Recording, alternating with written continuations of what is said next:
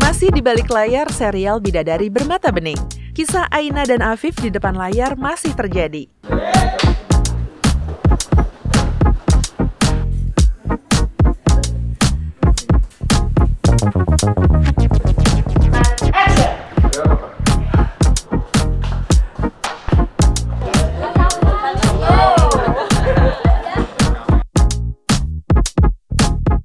Dan akan seperti apa akhir dari cerita mereka?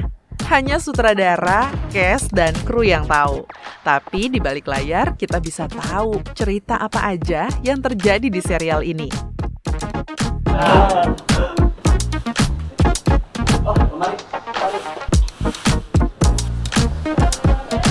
Udah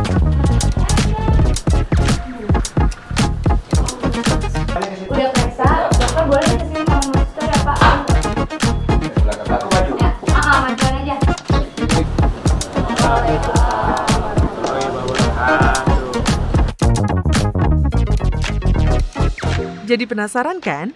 Kira-kira Zoe Abbas yang berperan sebagai Aina, karakter aslinya gimana ya? paling sih ya itu sih bercanda-bercandanya sih di sela-sela take terus habis itu eh, kayaknya di balik scene yang tegang semua tuh kita selalu manfaatkan dengan mengisi dengan positive vibes gitu kita selalu bisa bercanda nggak ada yang kaku satu sama lain gitu udah berasa kayak udah syuting bertahun-tahun gitu sih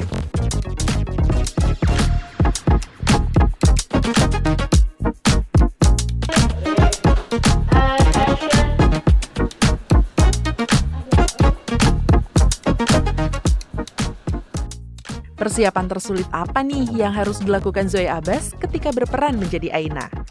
Hmm, aku sih sempetin kap- apalagi kalau misalnya scene-nya tegang gitu aku lebih coba untuk kayak nonton nonton series scrolling scrolling sosmed atau nggak coba coba meremin mata aja dulu biar akunya nggak terlalu tegang buat scene berikutnya Ah, bisa kita tes?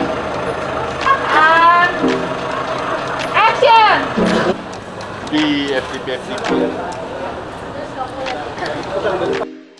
Berperan menjadi seorang bidadari di bumi yang rupanya banyak sekali dipertemukan dengan tantangan dan ujian, tidak semudah apa yang kita tahu selama ini tentang bidadari di luar sana. Dari sini, kita melihat perjuangan dan persiapan para cast semuanya tidak mudah untuk menjalani perannya masing-masing. Dan itu sebuah tantangan yang dijawab oleh semua aktor di serial Bidadari Bermata Bening.